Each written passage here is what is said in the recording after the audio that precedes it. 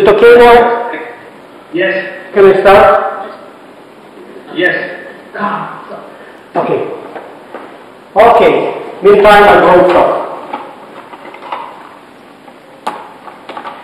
Um, so, lecture number 11.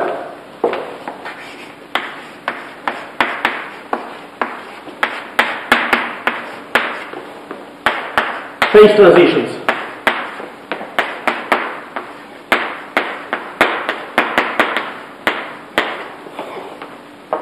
Okay, can you see the blackboard or you need to put a light?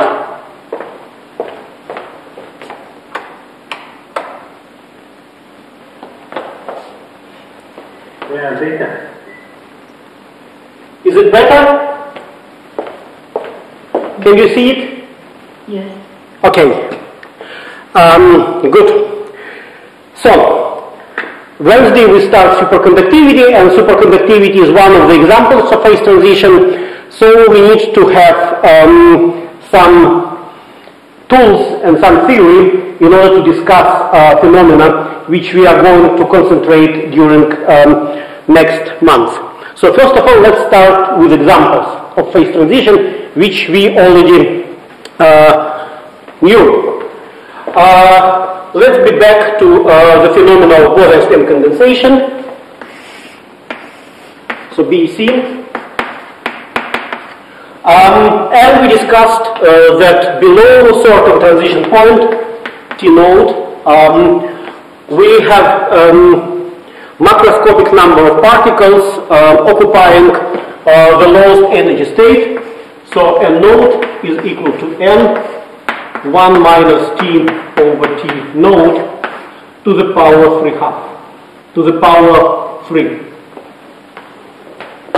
So 3 half, right? Doesn't matter. Actually, doesn't matter what power uh, it is in the trap. We have a t over t node to the power 3. so, what do we learn from uh, this exercise? First of all, that there is something which is equal to 0 for temperature t larger than t node. And there is something, in particular a node, which is non-zero below critical temperature t node. Um, so if we massage it a little bit, n to the power t node to the power 3 half minus t to the power 3 half over t node to the power 3 half, I will multiply uh, to uh, the sum, so it will be n t node to the power 3 half minus t to the power 3 half, um, t node to the power 3 half plus t to the power 3 half divided by t node to the power 3 half, t node 3 half plus t 3 half. So I need actually identical um, operation multiplying numerator and numerator uh, by this guy.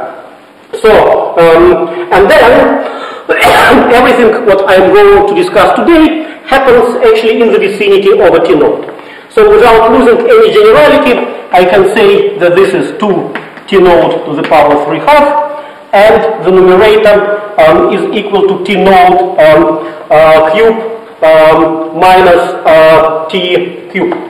So this is approximately n node t node cube minus t cube to the power 2 t node cube. Approximately because um, I replaced here I consider that t um, is approximately equal to t node. I cannot do it here uh, because I'm interested in the difference. So basically it's a node t node minus t to the power times 3 t node uh, square divided by 2 t node cube. Again, approximately. So which means that if I will characterize my uh, transition um, in terms of the quantity square root over a node, a node, so it behaves like that, and in the vicinity over t node, um, it is proportional to t node minus t over t node, square root. So, again, in whatever I do today, I assume that t minus t node over t node modulus is much smaller than 1. This is a condition which I'm going to use today. So we can introduce something which we will call order parameter. And the order parameter tells us that this order parameter is non-zero for temperature smaller than temperature of the transition, and this is zero at the temperatures larger than temperature of the transition. So this example we already considered.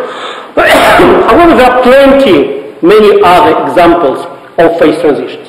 For example, we can speak about magnets. This is what we are going to do at the end of the course. But you already met it in your practice. Suppose you have a magnetic piece of magnetic material, magnetic metal.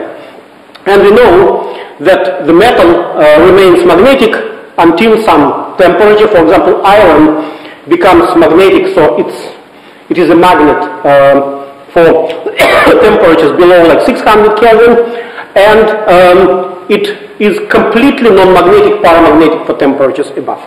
So if we are talking about ferromagnets, then we can speak about magnetization um, as a function of temperature here. And it behaves in a pretty same way. So for low temperatures, we have ordered magnet moments, spins or orbital moments. Um, and above, everything is disordered.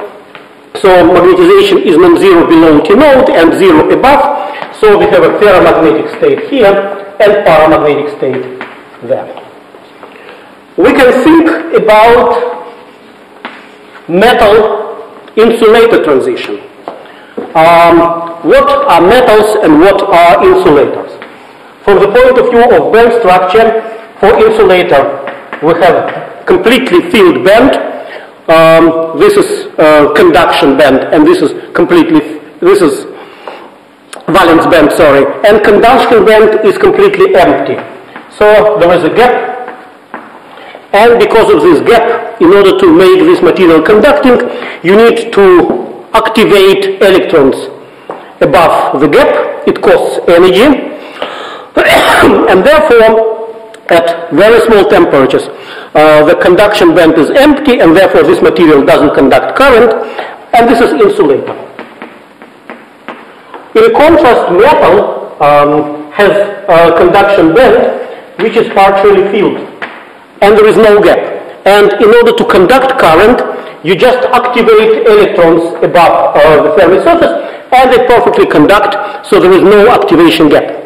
Um, in principle, you can study phenomena where the gap closes um, at some temperature, and therefore you have a transition from insulator uh, to metal. This is yet another example of uh, the phase transition. Um, and here, uh, example number two, we are talking about magnetization. Here we are talking about gap. And last but not least, something which we are going to discuss starting tomorrow is a superconductor. In a superconductor, we have a pretty the same situation, namely at temperatures below something, uh, materials, material can conduct current without energy losses.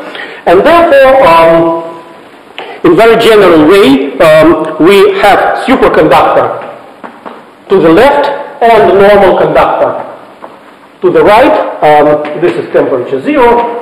And once again, we can introduce a para order parameter. And for example, here, as we will see it on Wednesday, the order parameter, which is superconducting gap, which is the same time the modulus of uh, the wave function. Uh, however, uh, we can consider whole wave function. Again, like in superfluidity, superconductors can be characterized by the global wave function, and we can consider um, this global wave function or the parameter, and therefore all these examples tell us that um, we have similarities, namely we have something which we call the order parameter, which is zero at temperatures above temperature of uh, transition and non-zero below. But what is different in these examples, we have a different number of components of the order parameter. For example, in the first example, order parameter is a scalar.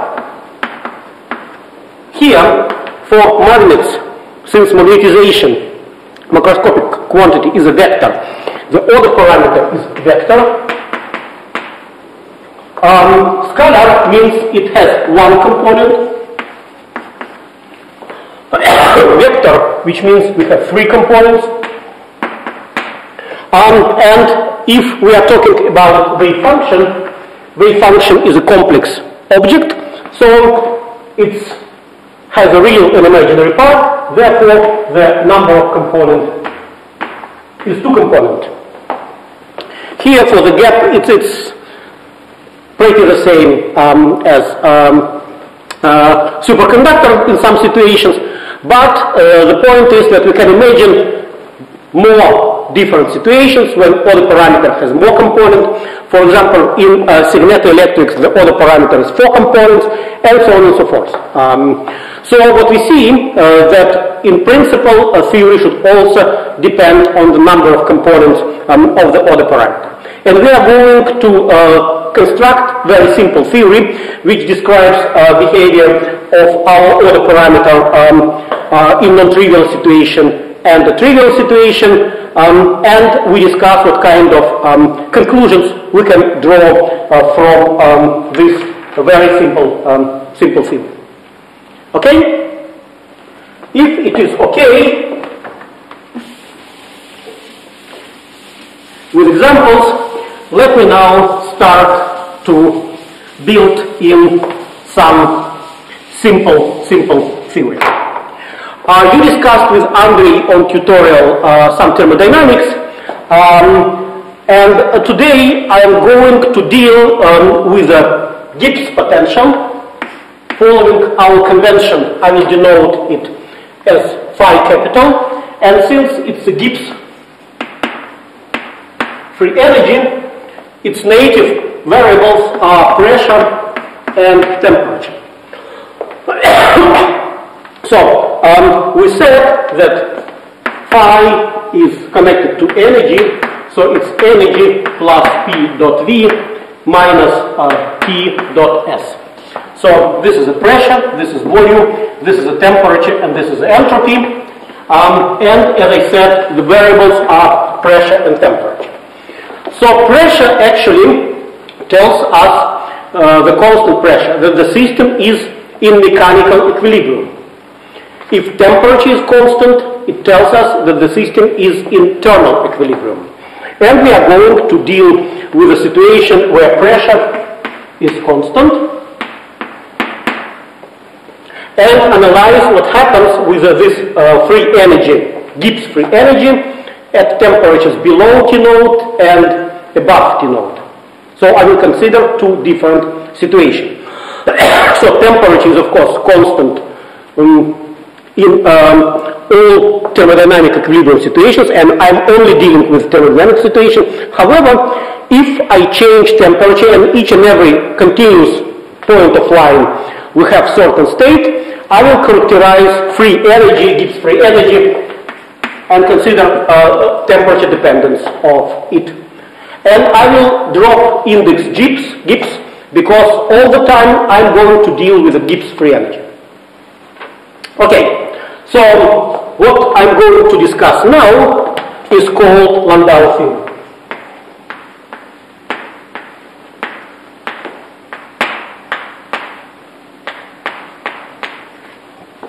And what Landau suggests that in the vicinity of the phase transition point, um, the Gibbs free energy can be Taylor expand in terms of the order parameter.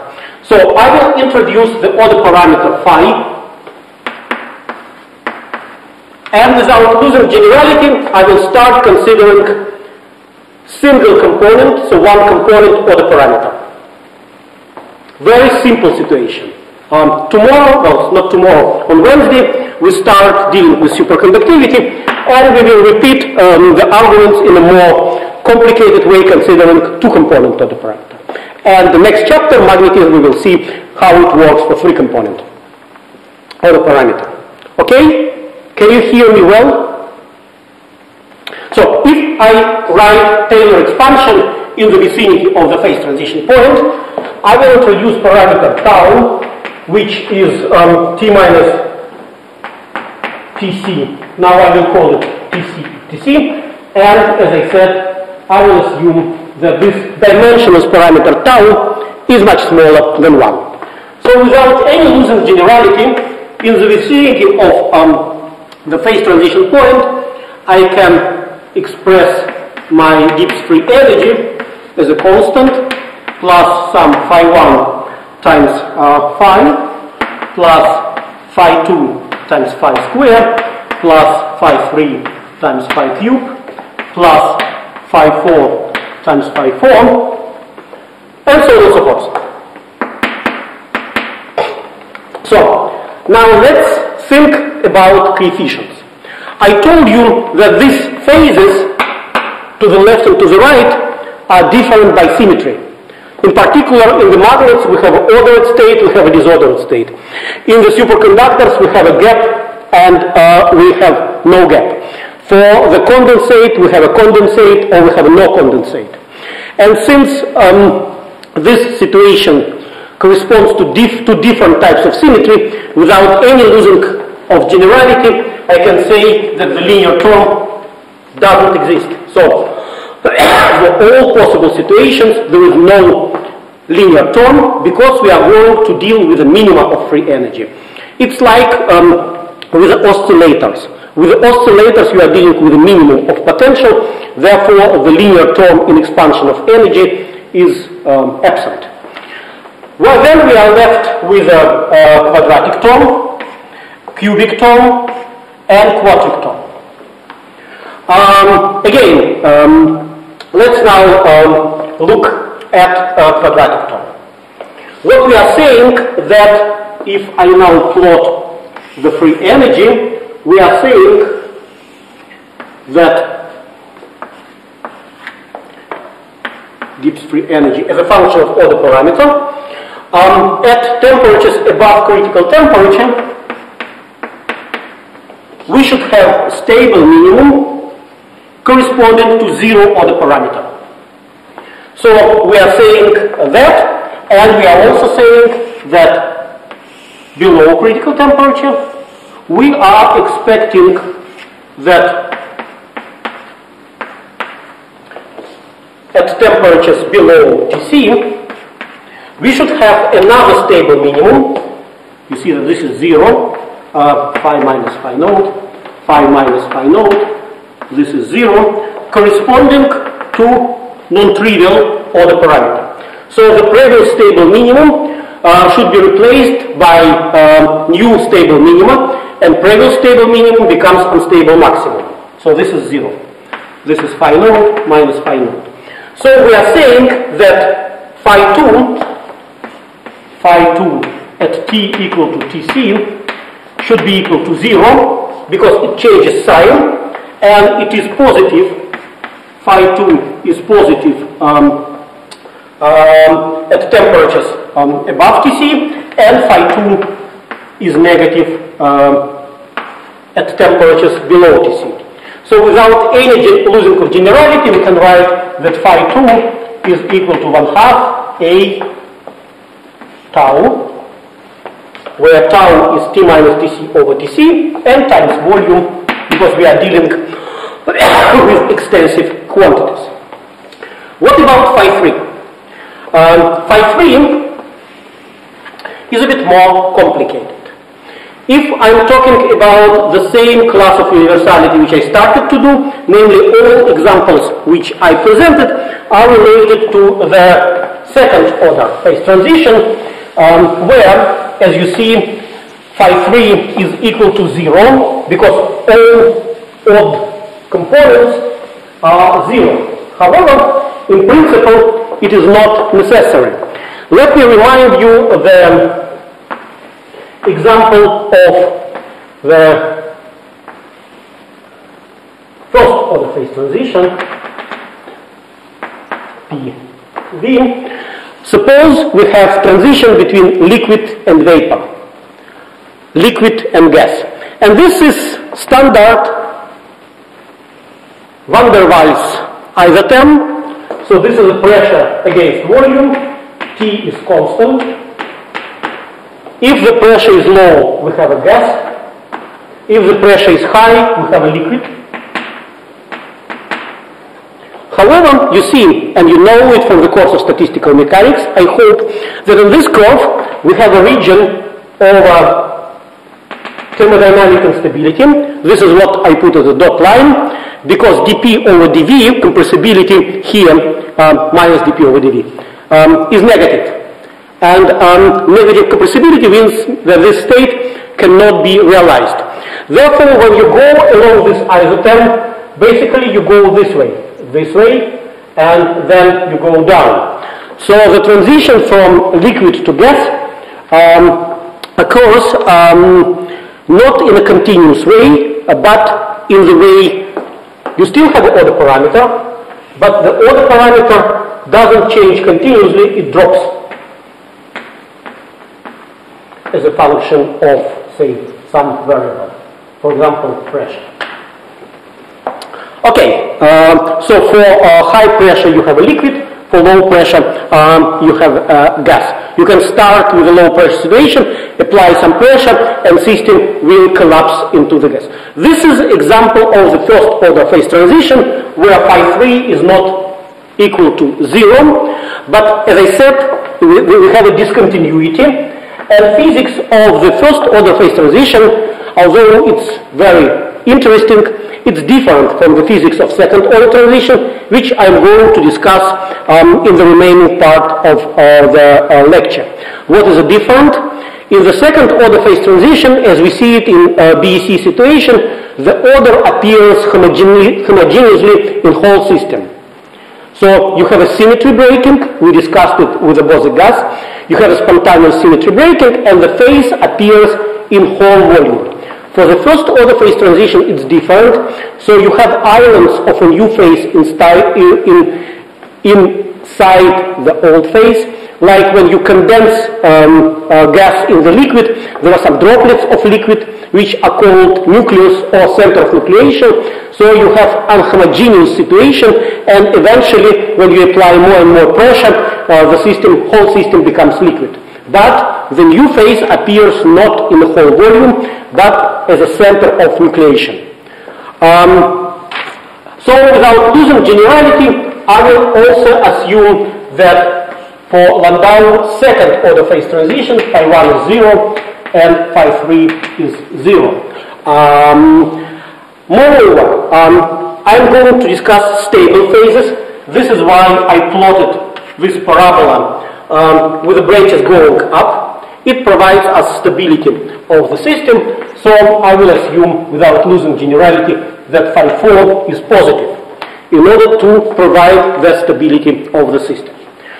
Okay, so I can define phi 2 um, in terms of coefficient A, and the key point is that phi 2 changes sign at the transition point, and I will redefine phi 4 as one fourth B volume.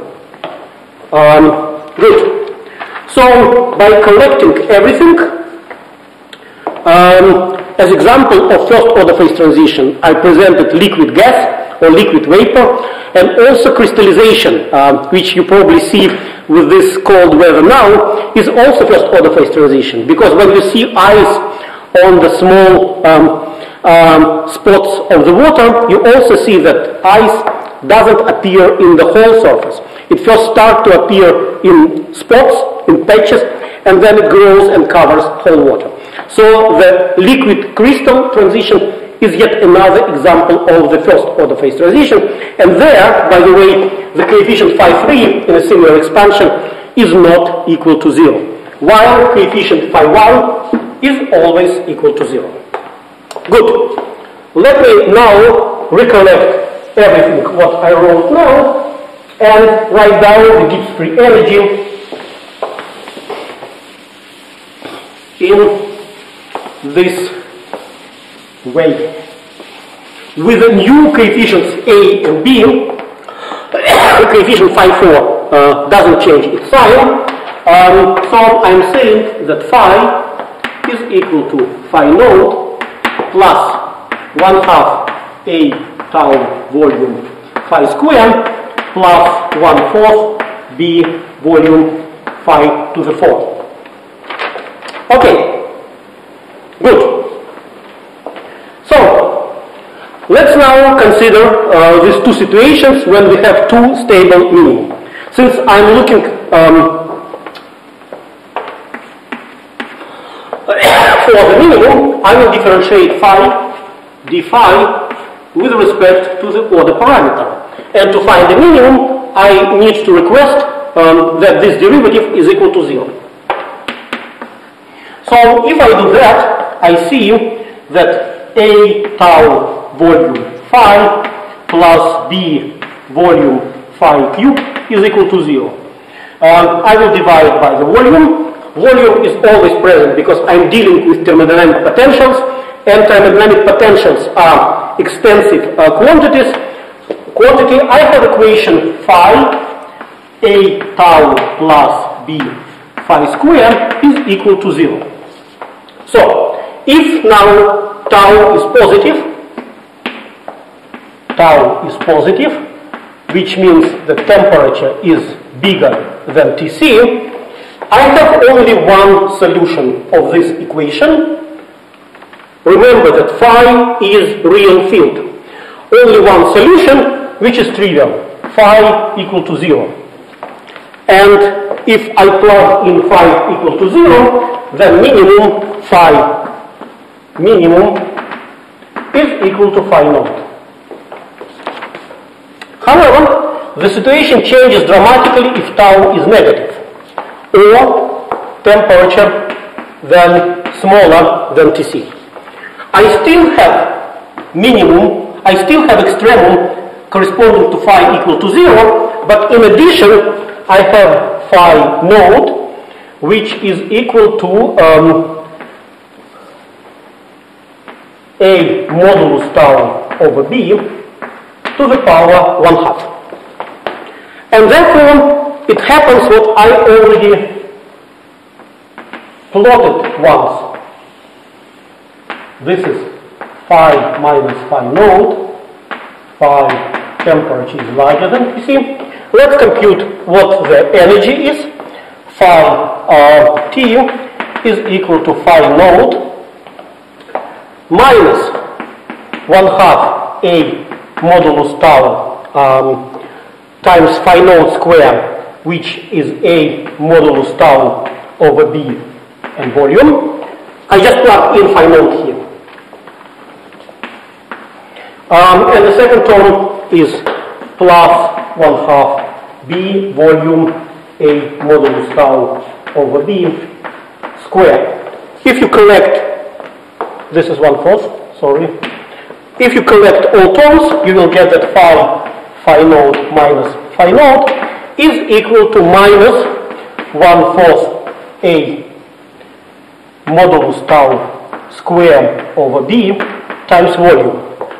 So the previous minimum zero, phi minus phi naught becomes maximum and you have phi naught minus phi naught mu minima, and this is minus one fourth a tau square over b times volume.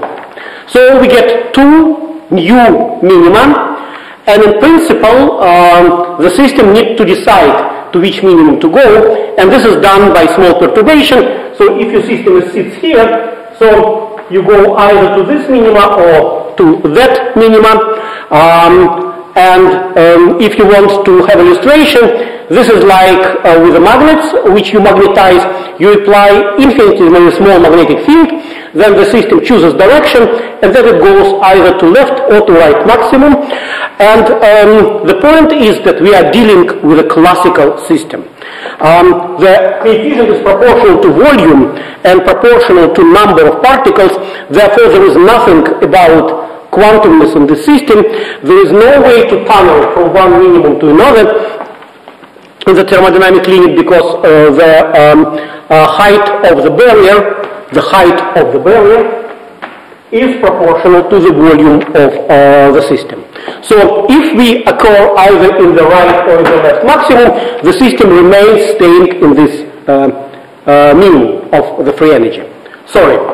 So we already captured some uh, key properties of uh, the phase transition and let's now uh, discuss two other things, namely in the next few minutes I'm going to discuss what happens with the entropy and specific heat um, at the phase transition point, and I'm going to introduce critical exponents which characterize behavior of certain quantities at the vicinity of the phase transition point.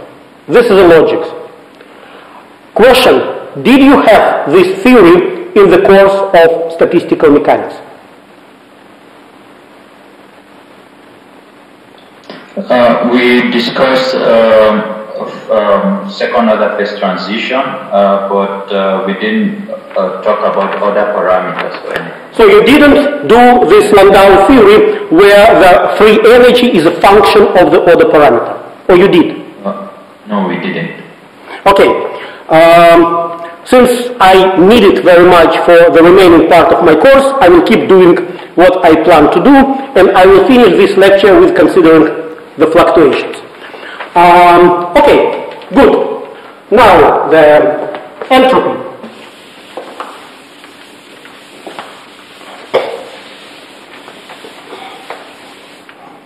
So all what I'm saying so far is related to Landau theory of a second order phase transition. Um, and in Landau theory, your free energy is function of the order parameter, and the assumption was that the, this function is analytic in the vicinity of phase transition point. It doesn't have any singularity, and as a result, it can be Taylor expanded. what we will see in the uh, lecture, start to see in the lecture on Wednesday, um, will be Ginzburg-Landau theory which is generalization of Landau theory, and the difference will be that the free energy will be a functional of the order parameter. We will see already today what does it mean being functional when we consider fluctuations. So entropy.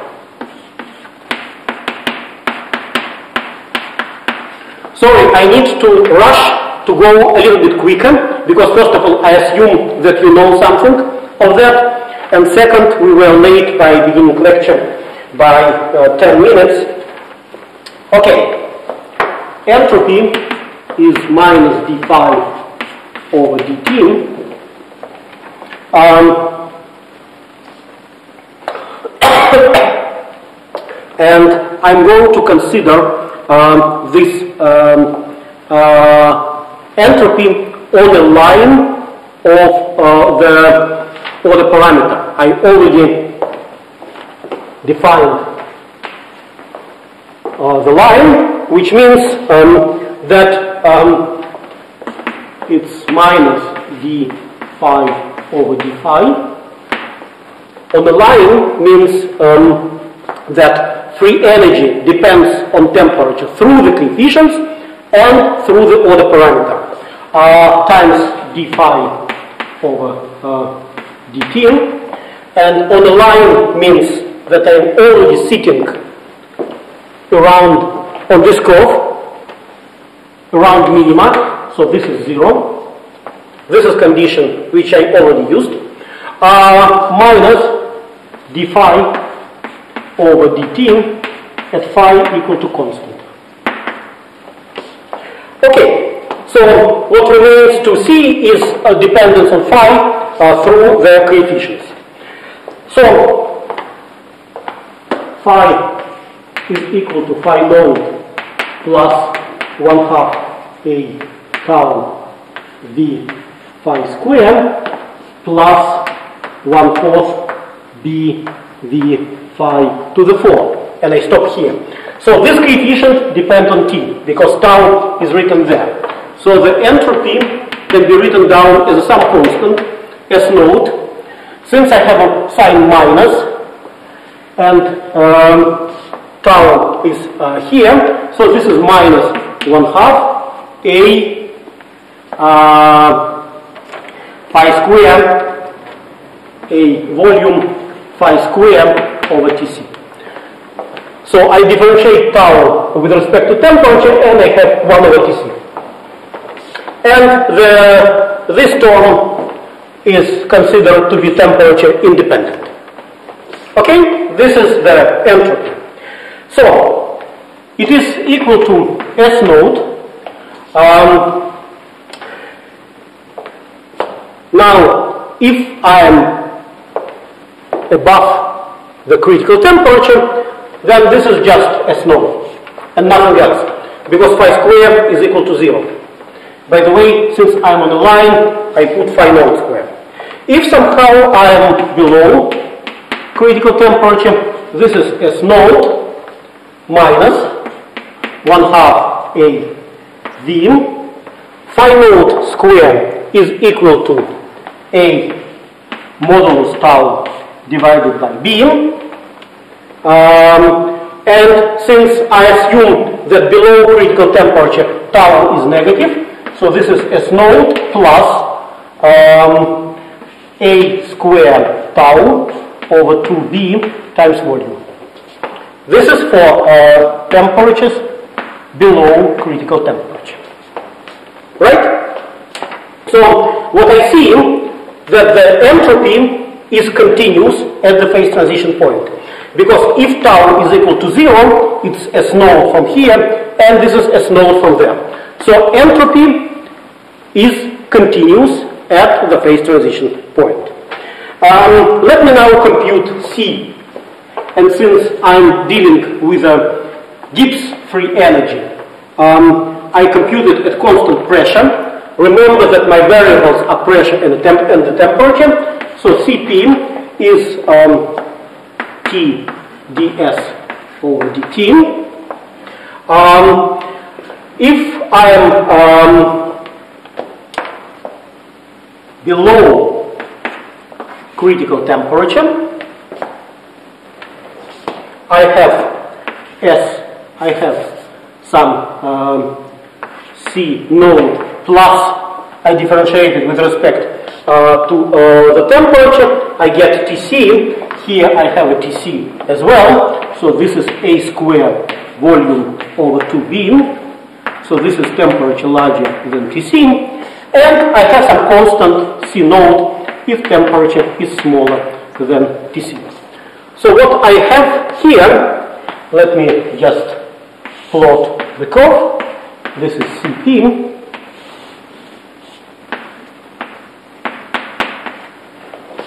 That other way around. Sorry. Um, that if I'm going from ordered phase, so here I have ordered, here I have a disorder, that the specific heat has jumped at the phase transition point, and the value of this jump I will need it at the end of this lecture is a square v over 2b. Defined from the point of uh, view, um, sorry, ds over dt, what is wrong? Aha, what is wrong here that I forgot to write this here. Here, I forgot to write a TC here.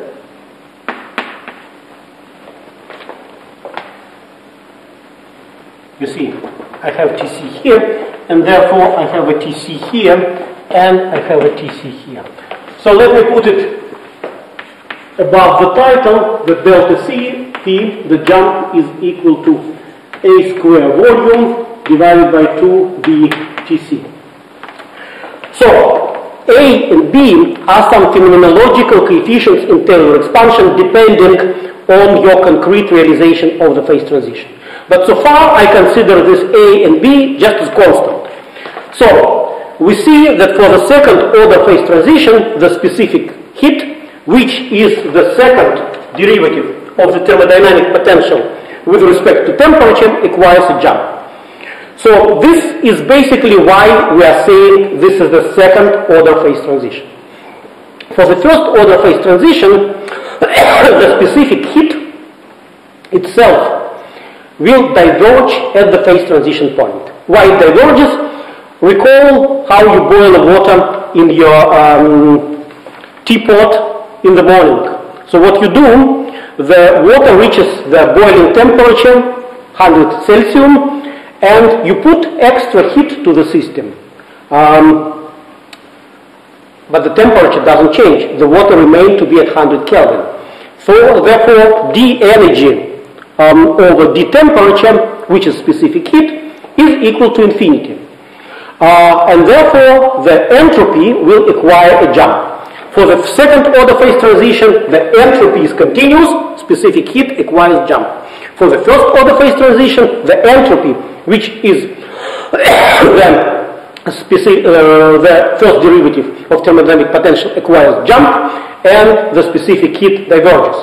Therefore, if we consider uh, the derivative, corresponding derivative of thermodynamic potential with respect to some variable, temperature, pressure, or whatever, um, then depending on the derivative, first, second, third, and so on and so forth, you can corresponding order of the phase transition. For the um, first order phase transition, the first derivative has jumped. For the second order phase transition, the second derivative has jumped. For the third order phase transition, the third derivative has jumped. And the problem which I gave you is to show that uh, BEC transition is the third order phase transition, namely the derivative of specific heat will have a jump. Okay? Good. So we learned yet another important thing that the specific heat for the second order transition requires a jump. Good. Now, critical exponents.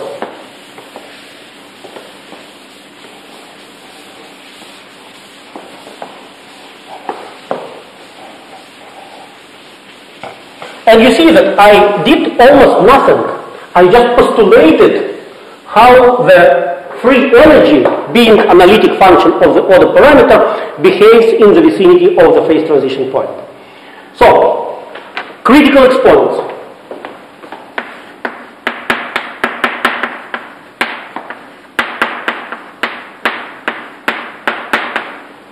We already learned that the order parameter phi naught, which is A modulus tau over B, to the power of 1 half, if we plot the order parameter as a function of temperature in the vicinity of T naught, we see that it behaves as square root over tau, which is square root over Tc minus T over Tc. This is a Tc.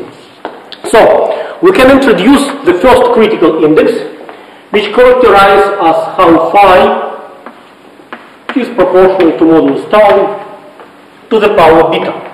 So, how the order parameter behaves in the vicinity of the phase transition point.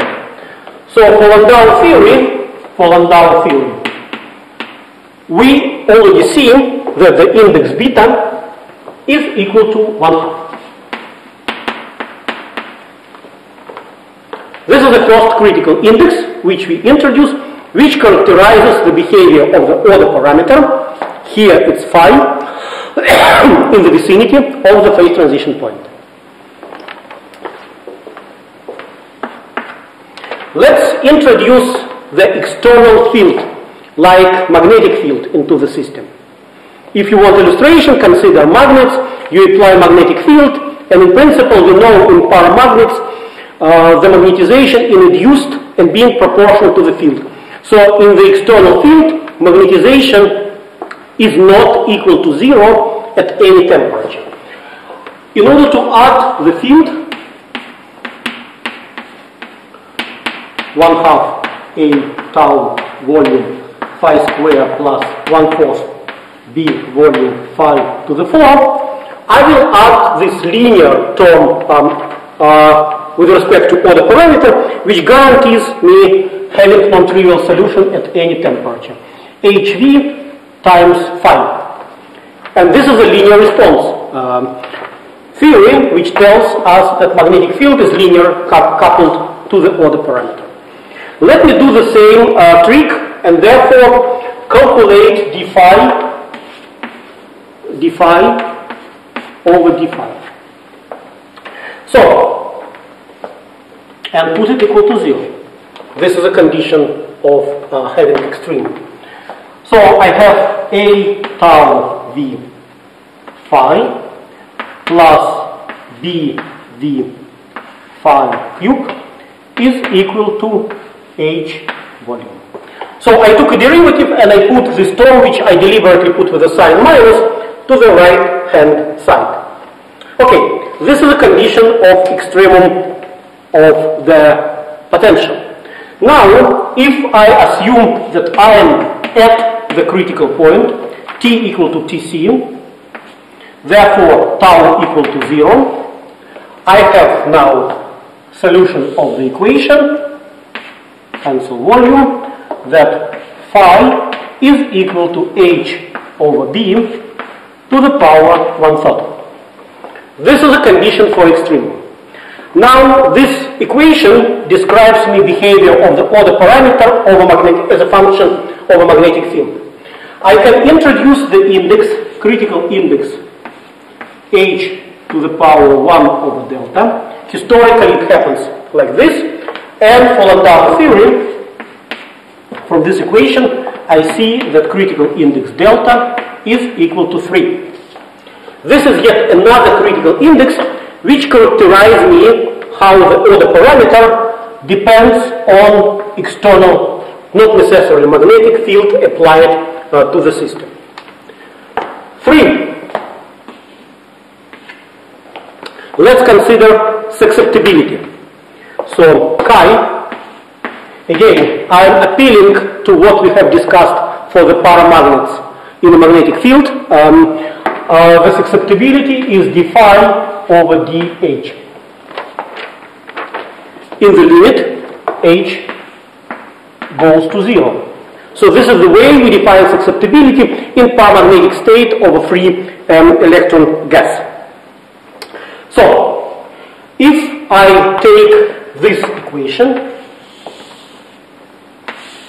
and apply uh, the derivative, what I see that d phi over dh, I open a bracket, a tau, this is from this term. When I differentiate this term, I have 3, 3bv phi square. Dh d phi over dh, and derivative of the right hand side gives me 1.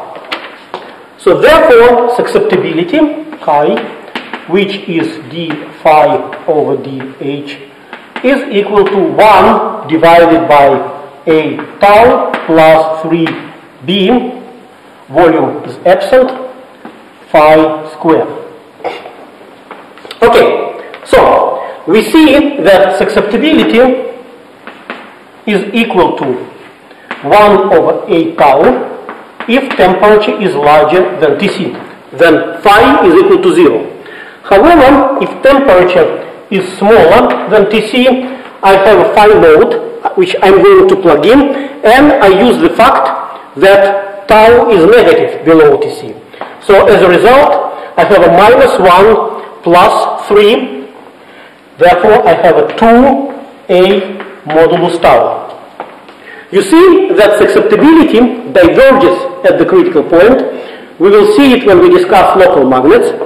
And it is proportional, inversely proportional to the tau. However, there is a coefficient 2 in front of the behavior, which is characteristic, again, characteristic for Landau theory of phase transition. What I'm saying that I introduce a critical index, saying that susceptibility is proportional to modulus tau to the power minus gamma. And for Landau theory of phase transition, Landau theory, gamma is equal to 1. From here, you see it clearly. Okay? Last but not least, I would like to introduce the critical index alpha. Can you see it in this part? Uh, or the microphone uh, actually make an obstacle?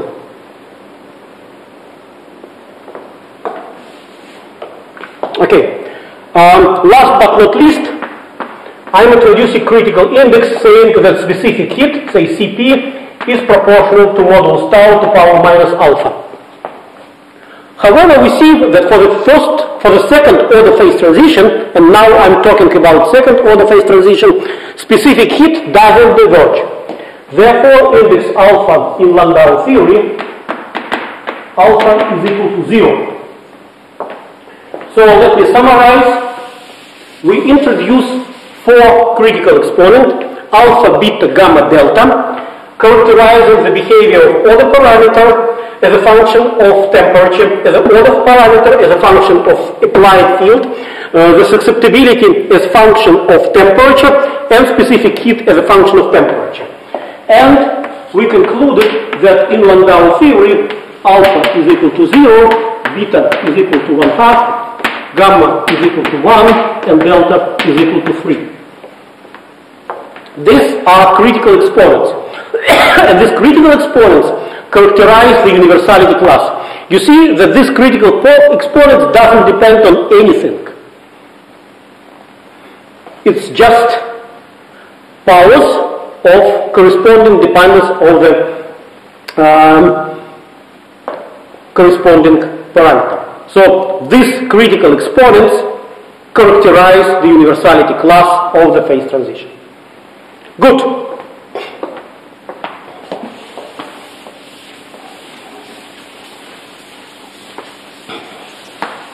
So in the remaining part of uh, the uh, lecture, I will consider the fluctuations and find the criteria, I said that my description is valid when the parameter tau is much smaller than 1. But in the remaining part of the lecture, I'm going to identify the lower bound of tau.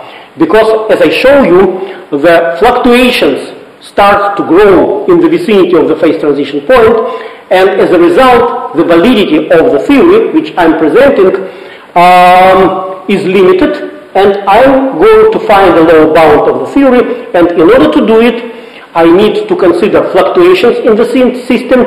I will write down the Gaussian theory of fluctuations. I will compute the correction to specific heat during, due to fluctuations. I will request that the correction to the specific heat is smaller compared to the jump, and therefore I will find the lower bound for tau. This is the goal for remaining part of the lecture. Uh, professor? Yes? Uh, can you repeat a bit about uh, the thing you mentioned about the uh, the characterizing universe, the same universality class of transition? Well, you will see that for Landau theory of phase transition, actually, and we will see it on Wednesday, uh, the critical exponents do not depend on anything, including the number of components of the order parameter. It's just characterize you, um, uh, they are universal, so to say, for Landau theory of phase transition. So, if you are doing mean field, and we are going to do mean field both for superconductivity and magnetism, you will see that any mean field leads to this critical exponent regardless of the dimension of the system, regardless of the number of components of the order parameter. This is characteristic for the phase transition. We will see However, that in experiments you see the strong deviation sometimes from these critical exponents. And in many cases this is indication that your criterion is violated. And therefore you have completely different theory, which um, is called um, theory of scaling. For example, uh, index gamma will be equal to 4 third. Uh, you will introduce two other indexes for correlation length. We will do it if for so-called for anomalous dimension. Some of these indexes will depend on dimensionality of your system. Uh, you will see and what is upper critical dimension uh, and what is lower critical dimension. Um, uh, so I will probably ask Andrei to have a tutorial about phase transition because this is the most general theory which mean, I almost have no assumptions. And moreover, this theory is not that old. Uh, the scaling theory was created in the end of 60s of 20th century. So it's roughly 50 years old, and it continues to develop. There are quantum phase transitions where you don't have thermal fluctuations, but you have uncertainty principle. But as I said, as long as the class of universality of transition is concerned, these critical indexes do complete information about um, uh, the universality class, and moreover, scaling theory tells us that these critical exponents are connected into some uh, equations. So they are dependent. So there are equations which connect different critical exponents.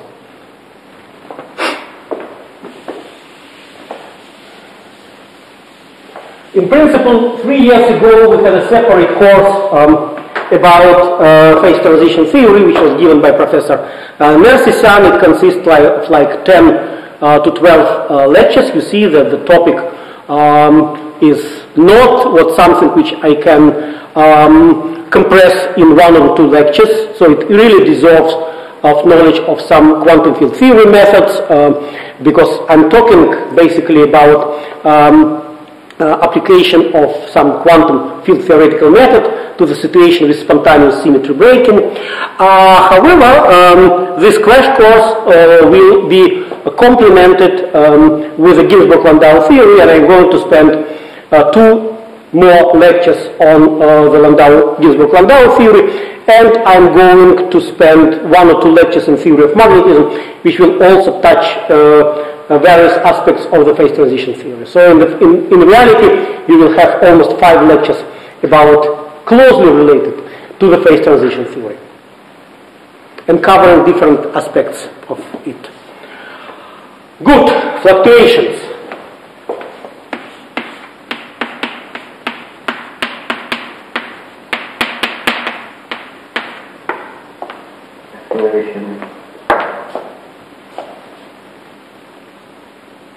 I did mistake or what?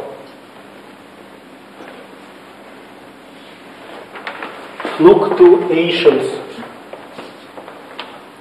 Okay.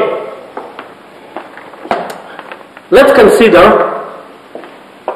so-called coarse graining. We have some volume and macroscopic volume and we have some another part of this volume inside so this is V and this is V naught. And I will consider this small um, volume which I dashed um, as sitting in the environment of uh, V naught. So I will write down the fluctuations of energy, delta So the fluctuations, the total fluctuations, consists of the fluctuation delta E inside my volume V plus fluctuation of the environment. So this is environment. Change of the energy, if you like. I will come to the word fluctuations uh, later. So, since I am talking about energy and um, d energy, infinitesimal change of the energy is minus p dv plus t ds. This is what you discussed with Andrei. For energy, uh, the variables are volume and entropy. So I can write it down if I consider the change of energy of the environment and I keep change of the energy in the volume intact. So this is delta E, change of the energy in given volume, minus P delta V naught plus T delta S naught. So this all is delta E naught.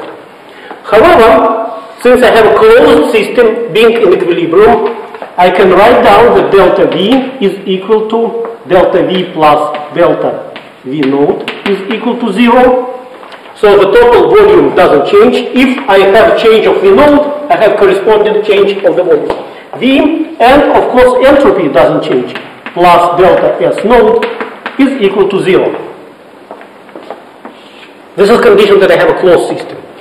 So if I plug in delta V naught is equal to minus delta V and delta S naught is equal to minus delta F, I have a delta E plus P V. And I told you that I consider system in mechanical and thermodynamical equilibrium, namely pressure and temperature are constant, minus Ts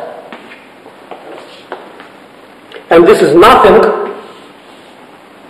but Gibbs free energy. So the total change of the energy in the system, I put index total, is equal to change of the Gibbs free energy. Okay. I will consider the situation when my order parameter changes is a function of coordinate around some constant value of, of the or the parameter given by Landau, Landau theory. So this is phi. So I will allow my order parameter to change a little bit from point to point in my sample. So the change of the order parameter will result in a fluctuation of energy. I will consider Gaussian theory, namely I will take into account only quadratic terms um, in the order parameter, which in a Gaussian theory will allow to say me that all changes, all fluctuations are independent. Because only in Gaussian theory you can say that. If um, a theory is non-Gaussian, it contains higher uh, orders um, in phi, uh, then I am not allowed to uh, tell it um, anymore. So, in this situation, I will assume, having said that the order parameter um, depends on the coordinate, that phi, my Gibbs free energy, and this is the reason why I'm dealing with Gibbs free energy, um, is not a function, but a functional of the order parameter. This is integral over dr. And I'm allowing the fluctuations c delta phi square. I will write coefficient 1 half plus 1 half a tau phi square plus 1 fourth b phi to the fourth. So, what is the difference between uh, Landau theory and theory of fluctuations which I'm presenting now? Um, in Landau theory, the integral over dr gives me volume of the system, and this is a volume which I kept in all equations. Now, since phi depends on r, I replaced the R independent theory by R dependent theory, and therefore I'm taking the integral um, over. And you see that the free energy is not just a function of order parameter, but it depends on the order parameter in the form of integral. So the order parameter is itself function of the coordinate, and therefore this is called functional func t of null. I'm going to deal with this functional for simple scalar one component of the parameter, but on Wednesday we start to consider Ginzburg-Landau theory, which will be the functional theory of uh, the uh, two component of the parameter, and we will learn how to take functional derivatives.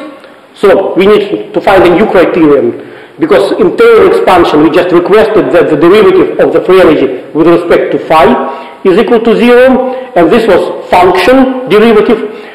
On Wednesday, we learn how to make a variation, how to find the functional derivative, and we will find new equations which basically replace the simple equations which I discussed in the first part of uh, the lecture. And what I said here in this picture. I said that phi is a function of r, can be written as phi naught, which is subject to Landau theory and which doesn't depend on r. This is this um, constant plus some phi tilde as a function of r. I'm allowing only small deviations of the order parameter from the point to point in my volume and the validity I assume that phi tilde um, is much smaller compared to phi naught. This is the limit of small, small fluctuations. So now what I'm going to do, I'm going to write down Fourier transform to rewrite um, uh, this uh, functional in the uh, K space and I assume that different harmonics, different Ks do not um, talk to each other. This is Gaussian theory. Think about it as oscillators. Um, and if I replace my system by non-interacting harmonic oscillators, I can think about the modes as non-interacting mode and proceed uh, with the summation uh, over all possible modes. But this is only for the situation when you don't have any nonlinearity or the theory is Gaussian. Good. So if you will have a feeling that you don't understand everything, please don't worry. Most of the arguments which I am giving now will be repeated several times in the course and you will take it more easy after several times repetition. So I will write down that phi tilde or let me write phi um, is 1 over square root of volume sum over k um, phi k to the power i k r. Well, if I write, remember, I'm talking about single component scalar or the parameter. So my field phi is real. So if I write complex conjugated variable, it will be 1 over square root of volume sum over k phi k star e to the power minus i k r. I just made a complex conjugated. But since my field phi is real, in this sum I can replace a summation k to minus k. So this is phi k minus k star e to the power i k r. So I just replaced in summation k to minus k. And what I see from the fact that my order parameter is real is phi minus k star is equal to phi k. This is connection between Fourier components. Moreover, uh, the k independent, if k is equal to 0, then I have r independent term, which is phi naught. So phi naught is included in this Fourier transform. So this is phi naught plus sum over k not equal to 0, phi k i kr. So phi naught is already included, so these are fluctuation of what I call phi tilde. Okay? Good.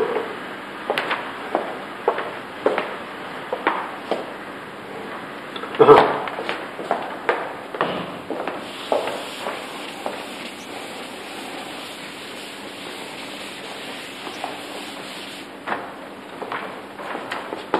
I terms gradient phi.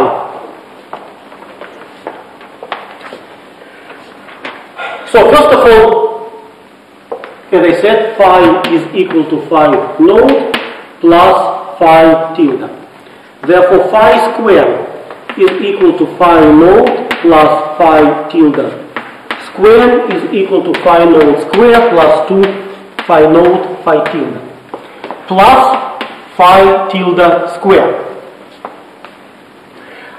Phi to the 4 is equal to phi naught plus phi tilde 4. I'm just talking about this term and this term. And I'm going to linearize it from the point of view of fluctuations. And keep, see some condition for linearized term and only keep terms up to phi tilde square, which actually gives me Gaussian theory fluctuations. So this is phi naught to the 4 plus 4 phi naught cube phi tilde plus 6 phi naught square phi tilde square plus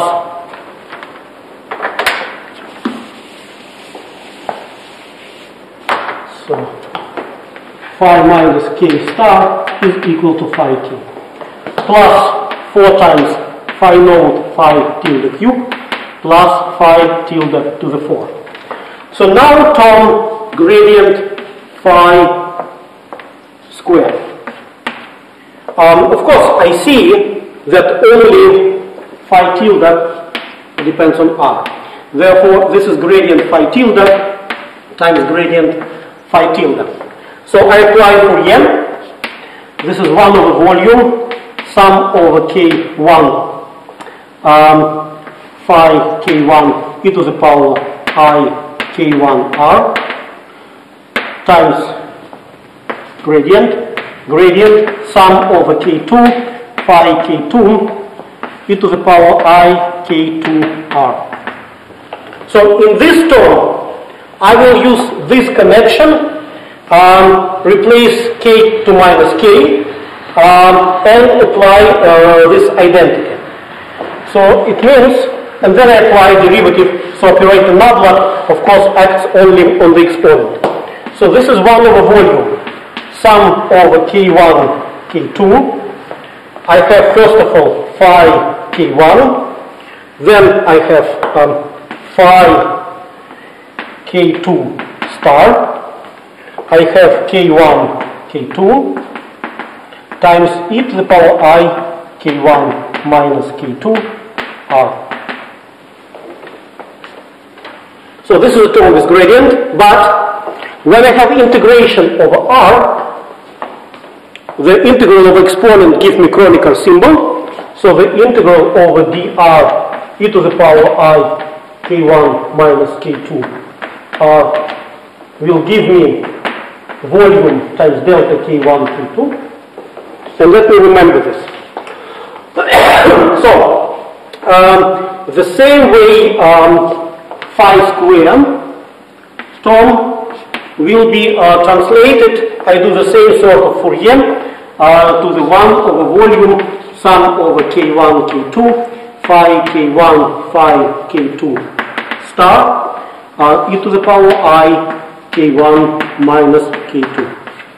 Um, so, when I do this, let's consider uh, terms linear with respect to phi tilde, namely this one. If I collect linear terms, I have phi tilde. Um, I have 1 half a tau times 2 plus um, 1 fourth b times phi cube, naught cube, um, times 4. And you see that from the Landau-Ginzburg theory, this bracket is equal to 0.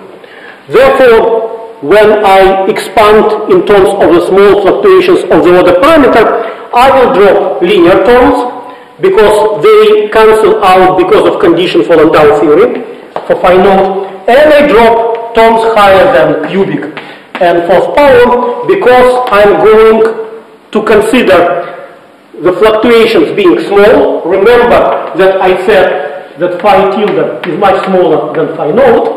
Therefore, I only keep quadratic terms. Good. As I said, we repeat it because this is equivalent to taking some functional derivatives. We repeat it on Wednesday in very detailed way. So what I'm saying is that um,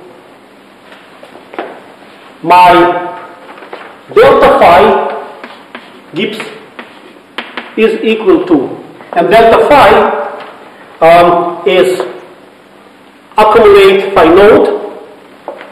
So this is phi minus phi naught under condition that uh, phi tilde is much smaller than phi naught. it can be written down as sum over k of the following ck square. ck square comes from the gradient term um, plus a tau plus 3 phi naught cube. 3 phi naught comes from the 6 in the uh, Newton binomial formula phi k phi k star. So this is phi k modulus square. And since I use this identity coming out from the fact that my order parameter is real, summation over k is done on half sphere. Because my Fourier components are not independent, are being constrained by the condition the order parameter is real.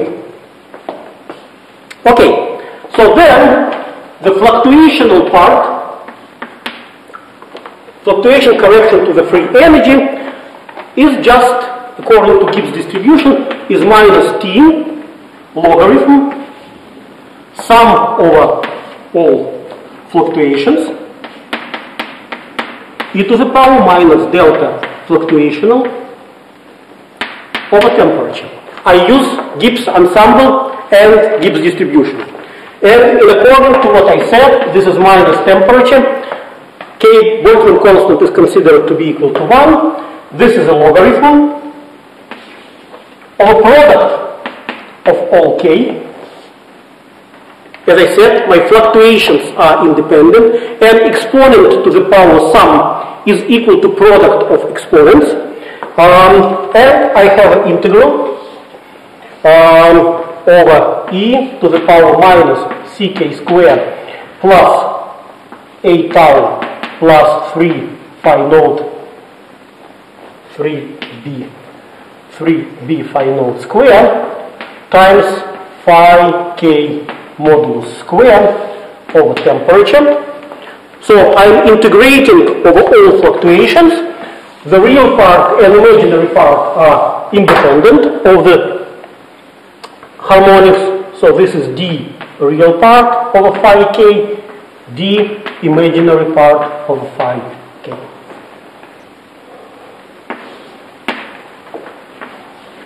So the logarithm of product is given is equal to sum of the logarithm. So k belongs to half sphere. So what I have, I have minus t. I have a sum over k uh, belongs to the half sphere, and this is a logarithm. And you see, as I said, um, I'm in Fourier space. Um, I consider the real part of my Fourier harmonic and imaginary part are two independent parameters, but I can uh, come from the Cartesian coordinate system to the polar, polar coordinate system. This will be phi k modulus square d modulus phi k um, times d theta.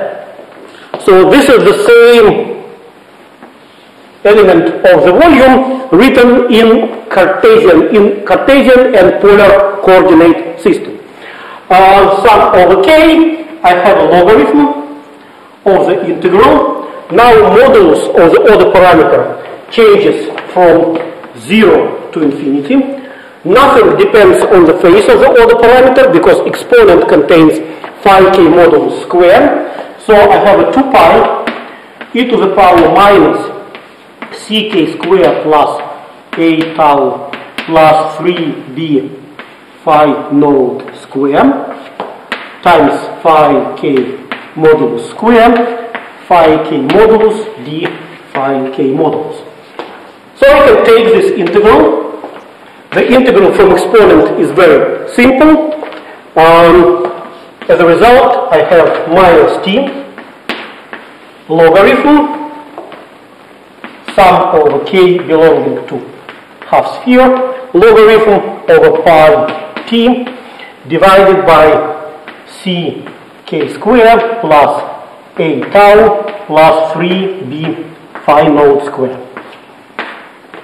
So I computed correction of free energy due to fluctuation, variation of my order parameter which changes slowly from point to point of my real space. Now the job is almost done. I'm sorry, I need maybe two, three more minutes. We started 10 minutes later. I apologize for that. So the last step is to compute the correction to specific heat. I will keep the last line.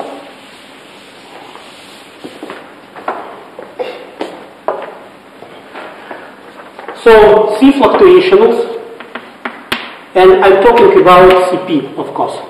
This is minus T d2 phi fluctuational over dt squared. T, temperature, see it here, is a function of tau. So instead of differentiating with respect to um, temperature, I will rather differentiate with respect to tau. With a simple uh, substitution, I can write down this is minus 1 over Tc d2 phi fluctuational uh, d tau squared. You can easily get it. And if I now apply, so this is phi fluctuational, to uh, this, what I get is um, that it is equal to minus a, uh, so plus a square. a square, sum over k belongs to half sphere, I differentiate this function twice um, with respect to tau. Um, and I have um, sum over k, and this is 1 over c k squared plus a tau plus 3b phi naught squared square. Of course, first derivative of the logarithm gives me first power, one of the argument, and second derivative gives me square. So now, as usual, I replace summation of my independent modes by the integral, but in this integral, I use the fact that I'm integrating over half sphere. Therefore, the solid angle will not be equal to 4 pi, but just 2 pi. So this is a square integral over d k square dk over 2 pi square and what remains uh, volume? And what remains is this a tau plus sorry ck square plus a tau plus 3b phi naught square square and from 0 to infinity this integral can be easily calculated um, with using contour integration. I give you just an answer. I don't have time to uh, calculate this integral on the blackboard. So the final answer is volume a square divided by 16 pi c 3 half times 1 over a tau plus 3b phi naught square to the power 1 half. So the fluctuational correction to the specific heat actually diverges as 1 over tau, 1 over square root of tau. So in order to define the validity of Landau theory, we need to request that this divergent fluctuation, namely delta C fluctuation, should be much smaller than the jump, which is A square volume divided by 2 BTC. If I plug in and I use the fact that if I'm above phase transition point, then phi naught square is equal to zero. So this is one over square root of tau. If I'm below phase transition point, this is minus uh, a tau. This is three a tau. So this is again factor of two. But on both sides, fluctuational correction diverges is one over square root. From this condition, I will find that tau from one hand should be smaller than 1, from another hand it should be smaller, is larger than some number, and this number is called the Ginzburg number. You can do this exercise yourself, and this Ginzburg number is b squared tc divided by ac cubed. You see that from parameters of my theory, and parameters are A, B, and C, and also critical temperature, um, I construct the dimensionless number, which is called the Ginzburg number.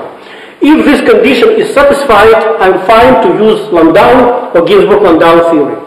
If somehow I approach closer to the phase transition point, the fluctuations become so strong that this Landau theory is not valid and I need to do something else. Now, what is typical value of Ginzburg number for phase transitions which we are going to discuss? For the superconductors, um, conventional superconductors, this Ginzburg number is of the order of 10 to the power minus 12, which means that you physically cannot approach to the critical temperature that close uh, that you will feel fluctuations in ordinary conventional superconductors. So Landau and Ginzburg-Landau theory will be perfect theory describing the phase transition superconducting system. For typical magnetic systems, the Ginzburg number is of the order of 0.1, which means that there is a way to approach the critical temperature where you will see strong deviations from the Landau theory, and then you can test the scaling theory prediction. For liquid helium-4, the Ginzburg number estimated from the point of view of phenomenological constants appears to be larger than 1. Therefore, this inequality can never be fulfilled if Ginzburg number is larger than 1, you cannot simultaneously request that the tau is from the same point is much smaller than 1 and much larger than 1. And therefore, uh, this phase transition theory in application to superfluid helium can never be applied. So one needs to do something else. Um, and um, this is not described by the Landau theory of uh, phase uh, transition. Okay, what I suggest that you go along the line of the calculations which I uh, sketch um, in my uh, lecture. Um, I dropped all coefficients of the order of 1, all coefficients like pi, 4 pi, or whatever, uh, only contain um, the variables, uh, not variables, constants given by the phenomenological theory, but I strongly suggest that um, you repeat, um, repeat it um, again. Um, that's all. I promise to you that I will give sort of crash course of the phase transition theory, and this is all what I wanted to tell today, and we will continue with some fundamental aspects of second order phase transition theory when we discuss um, theory of superconductivity and um, magnetic transitions in uh, local magnets. Any questions?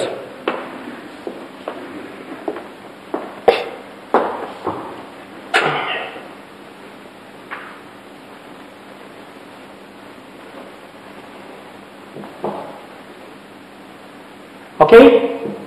No questions? Uh, yeah, I quickly want to want to ask uh, if, uh, uh, for example, when we did uh, Bose-Einstein condensation, you requested a very good uh, book, which was really helpful. If, if there is another one you can suggest for for a lot of uh, this also for phase transition. Well, for the phase transitions, depending on the level uh, of uh, the theory um, uh, which you would like to digest. There is brilliant book of John Cardy, which I think is called Phase Transition Theory, and this is also good introduction to conformal invariance uh, because um, what we will see discussing phase transition theory, we can introduce correlation length, and uh, everything um, uh, will be dependent on the ratio of your distance and correlation length. Correlation length concept is, is very important, so there is very short passage from the phase transition theory to the conformal invariance and conformal field theory. So I said that um, there are methods of quantum field theory uh, which is widely used to discuss and to describe phase transition. There is another brilliant book of Potashinsky and Pokrovsky uh, which is called, um, don't remember, I, I will uh, send you, uh, send me email and I will give you exact title, but it's called like um, Quantum Field Theoretical Methods for the Phase Transition Theory, where you can also learn uh, renormalization group, uh, epsilon expansion. Um, uh, by the way, what I forgot to say you here, this is a good point. So I computed this integral, this particular integral, in three-dimensional space. And in three dimension, we see that fluctuational correction um, is divergent as one as a power law divergent, one was square of tau. If you hypothetically consider this integral in four-dimensional situation, instead of law divergence, you will get a logarithm.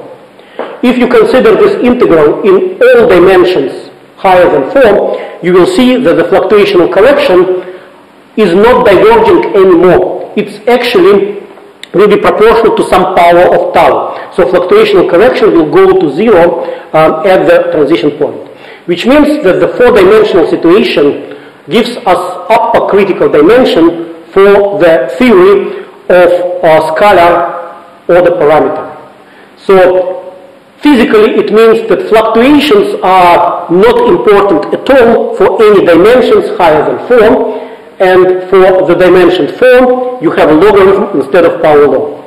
So this is the concept of um, upper critical dimension which actually I almost derive you the homework, compute this integral for four and five dimensional situation and see how the fluctuational correction uh, behave, uh, which then means that Landau theory is perfect uh, for dimensions higher than uh, four. Uh, however, we are living in three dimension and further in two dimensional situation in most cases. Therefore, in principle, you can do some perturbative expansion from the point of view of deviation of your actual dimension from the upper critical dimension. And this is so-called epsilon expansion. All these things you can learn from the brilliant book um, of uh, but of course uh, basic um, ideas of phase transition theory you can find in any uh, book of statistical mechanics. My favorite one is Landau Lifshitz, volume 5. Uh, there are several chapters devoted to the phase transition theory. Uh, if you want to begin with with something, please start with Landau. If you want to learn more and deep, I will give you several uh, suggestions for books uh, to read. There is a question in the chat uh, Mhm. by by Liane. She's asking what you mean by bosonic state is not compact in the previous Yes. Um, what I said is uh, that um, fermionic Hilbert space, uh, when we are talking about, uh, uh, or it's better to say Fock space, in terms of uh, the occupation number. When you do second quantization, you are working with us in a space of states. In fermionic case, you can have occupation number for given state either 0 or 1. Which I mean that occupation is limited by 1 and therefore it is compact. For bosonic boson statistics, you have occupation of given quantum state which is not limited. You have, can have 0 particles in this state, 1, 2, 3, 4, 5, 6, 7, 8, and so on and so forth. Which means that your Fock space is not compact. You can have arbitrary number of particles occupying uh, given state. And this is what I am referring to as non-compact Fock space. And the consequence of this compactness and non-compactness is that for bosonic system, your UV transformation or Bogoliubov transformation uh, corresponds to rotation on hyperboloid. And hyperboloid, um, the hyperboloid is, so you have uh, this object this object. So this is rotation on a hyperboloid, and for, this is for boson bosons. For fermions, your UV transformation corresponds to rotation on a sphere. And from the point of view of topology, hyperboloid is not compact because it goes like hyperbola um, to the infinity, and sphere is compact. And this is what I meant um, as compact and non-compact manifolds, which is related to um, the compact or non-compact, well, will related to the properties of your Fock space uh, for fermions and bosons. In one case, you have limited Fock space. Uh, in uh, the Bose statistic case, you have unlimited Fock space. Okay?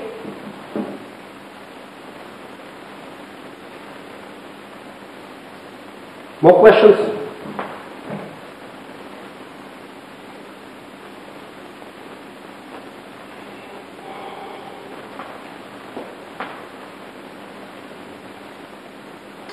So, if not, how was the tutorial?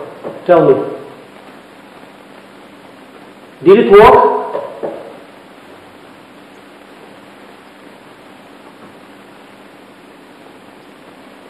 Are you still with me? Uh, yes, uh, we are. Yes, the tutorial work we fixed and we had a class.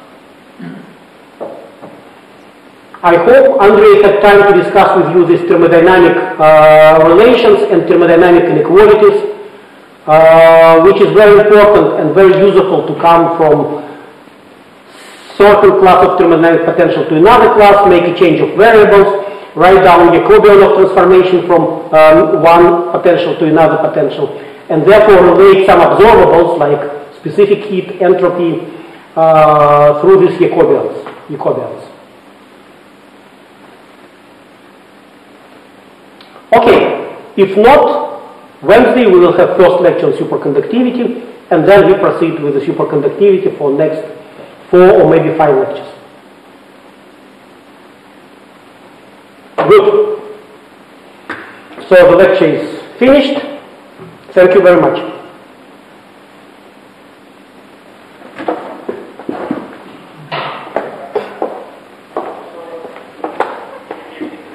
Yes?